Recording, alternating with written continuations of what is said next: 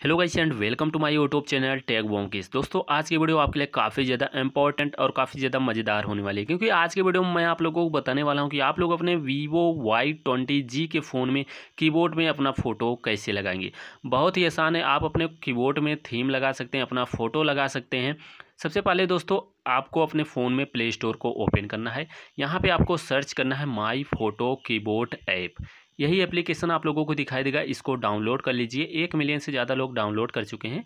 Keyboard में जो अपना फ़ोटो लगाने के लिए काफ़ी बेस्ट एप्लीकेशन आगे मैं आप लोगों को बता रहा हूँ इसका यूज़ कैसे करना है। इसका जो काफ़ी अच्छे तरीके से यूज़ कर सकते हैं। ओपन करिएगा तो यहाँ पर आप लोगों को थीम एंड फ़ोटो का ऑप्शन दिख रहा है। यहाँ पर आप लोगों को इस ऑप्शन पर क्लिक कर देना है। जैसे आप लोग इस ऑप्शन पर क्लिक करेंगे, वरना आपको यहाँ पे ऐड दिखाता है तो ऐड को कट करिए। अब यहाँ पे आप लोग देखिएगा, सबसे ऊपर आप लोगों को एक ऑप्शन दिखाई दे रहा होगा। Please enable the keyboard and view change इस पर क्लिक करना है, इसके बाद दो स्टेप हैं। सबसे पहले वाले स्टेप पर क्लिक करेंगे और सबसे पहले वाले स्टेप पर क्लिक करने के बाद माई फ़ोटो कीबोर्ड ऐप आप लोग यहाँ से चूज़ कर लीजिए। इसके बाद सेकंड वाले पर क्लिक करना है और यहाँ से फ़ोटो कीबोर्ड चूज़ कर लेंगे। अब इसके बाद आपको कुछ नहीं करना है सिंपली अपने फ़ोन में बैक आ जाना है। बैक आने के बाद यहाँ पे कुछ इंटरफेस आप लोग देख सकते हैं प्रीव्यू वगैरह अगर मैं यहाँ पे क्लिक करता हूँ।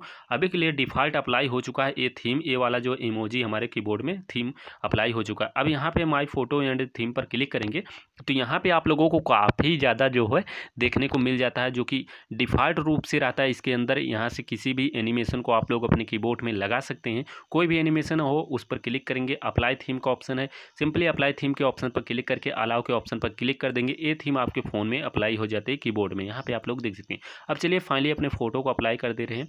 थीम एंड फ़ोटो के ऑप्शन पर क्लिक करते हैं। गैलरी का ऑप्शन दिखाई दे रहा है। इस पर क्लिक करना है। गैलरी के ऑप्शन पर जैसे आप लोग क्लिक करेंगे, आपके फ़ोन में आपकी गैलरी ओपन हो जाएगी। अब आपके फ़ोन में जितनी भी फ़ोटो रहती है सारी यहाँ पे शो होने लगती है। अब किसी भी फ़ोटो को आप अपने फ़ोन में सेट कर सकते हैं। जो चलिए कोई अच्छा सा इमेज हम चूज़ कर लेते हैं। कोई भी इमेज आप लोग चूज़ कर सकते हैं। इसके बाद यहाँ से क्रॉप कर लीजिए। यहाँ पे सबसे नीचे क्रॉप एंड अप्लाई का ऑप्शन इस पर क्लिक कर देना है।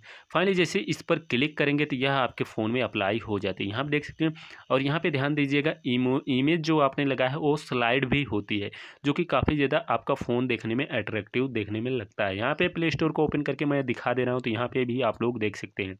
हमारे फ़ोन में कीबोर्ड में हमारा फ़ोटो लग चुका है। तो गाइस इस तरीके से आप भी अपने फ़ोन में लगा सकते हैं। अगर आपको वीडियो यूजफुल लगे तो प्लीज़ वीडियो को लाइक करिए एंड चैनल को भी सब्सक्राइब ज़रूर करिए।